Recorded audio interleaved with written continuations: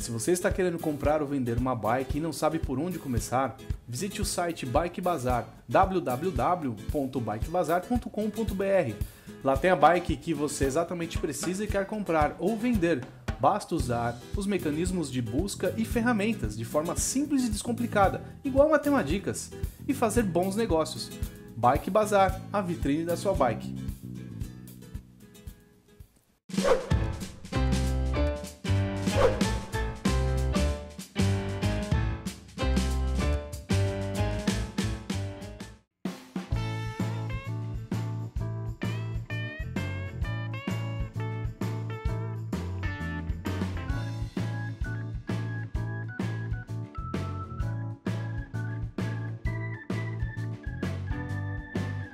E aí pessoal, bora resolver a última questão dessa prova feita pela VUNESP em 2017, que foi para TJ Escrevente. Se você não acompanha as anteriores, clica nessa letra aí que tem a playlist com todas as questões resolvidas. Essa questão tá aqui na descrição desse vídeo, porém, como ela tem uma figura, não dá para colocar a figura ainda aí no YouTube. Então você pode também acompanhar no blog do Matemadicas e se inscrever aqui no canal para acompanhar as postagens. Não deixe de colocar a notificação para te avisar toda vez que tiver vídeo novo. Eu vou deixar a questão na tela, você tenta resolver, depois você vê a resolução. E eu vou te dar uma dica: não tenha medo de figuras geométricas nas provas. Elas mais ajudam do que atrapalham. Então foi.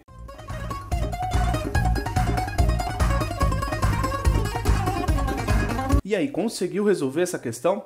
Então vamos ler devagarzinho, vamos entender. Antes de qualquer coisa, vamos olhar a figura e vamos entender isso daqui. Apesar de eu não ter desenhado igualzinho, retinho igual da prova, eu quero que vocês apenas analisem isso daqui, ó. É um retângulo ou um quadrado ou é uma figura, um quadrilátero que a gente não sabe as medidas. Bom, ele disse que esse lado vale x e esse lado aqui vale 2 terços de x ou 2x sobre 3, tanto faz. Isso quer dizer que esse lado aqui é diferente desse, ou seja, a figura maior é um retângulo. E aqui vale y, Aqui a gente não tem essa medida, aqui a gente não tem essa medida, essa medida também não, então vamos continuar e ler o enunciado que isso vai ajudar. Para segmentar informações de modo a facilitar consultas, um painel de formato retangular foi dividido em três regiões quadradas, Q1, Q2 e Q3, e uma região retangular R, conforme mostra a figura. Aqui é um retângulo, quer dizer que esse lado é diferente desse, e aqui são três regiões quadradas, Q1, Q2 e Q3, quer dizer que esse lado é igual a esse. Esse lado aqui é igual a esse e esse lado é igual a esse. Ou seja,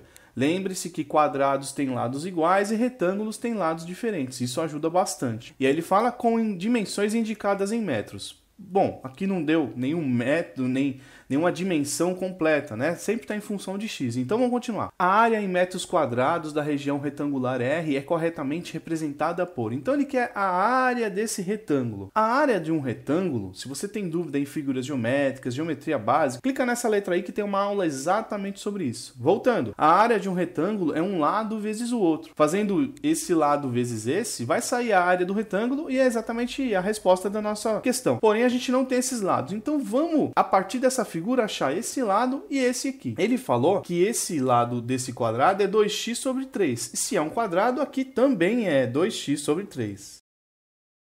E se aqui é 2x sobre 3 e aqui tudo vale x, então a gente tem como saber esse lado aqui. Esse lado aqui não dá para falar que é 2x sobre 3, porque esse lado é diferente desse. Então vamos fazer x, esse tamanho maior, menos esse. Então vai ficar aqui, ó. Vamos dividir aqui, vou dar um espaço a gente colocar umas coisas aqui. Vai ficar aqui, ó, x menos 2 terços de x ou 2x sobre 3, tanto faz. Se você tem dúvida em operações com frações, que esse exercício vai usar bastante, clica nessa letra aí que tem uma aula exatamente sobre isso. Então vamos fazer aqui, ó, x menos 2x sobre 3, o que, que tem que fazer? O mínimo. 3, vamos lá, 3 dividido por 1, 3. 3 vezes x, 3x. Menos 3 dividido por 3 dá 1, 1 vezes 2x, 2x.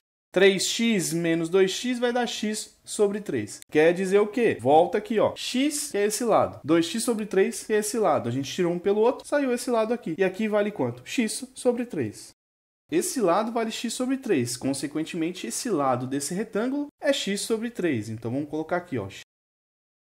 Precisa desse lado aqui, que a gente ainda não sabe. E aqui vale y. Então vamos calcular aqui, ó. Se esse, esse cara é um quadrado e esse cara é um quadrado, então vamos dividir esse valor por 2. Vou colocar aqui, ó. dividir por 2 ou dividir ao meio esse x sobre 3. Então vamos fazer x sobre 3, que é essa dimensão aqui, dividido por 2. Isso aqui é uma divisão de frações. Lembra da regra? Mantenha de cima e multiplica pelo inverso da de baixo. Se está 2 sobre 1, vai ficar 1 sobre 2 x vezes 1, x, 3 vezes 2, 6. Isso aqui é uma multiplicação de frações. Volto a dizer, se você tem dúvida nessas operações, clica na letra aí que já estava aqui ou na descrição do vídeo que tem isso. Então, volto. x sobre 6 quer dizer que é esse pedacinho e esse pedacinho. Então, aqui é x sobre 6.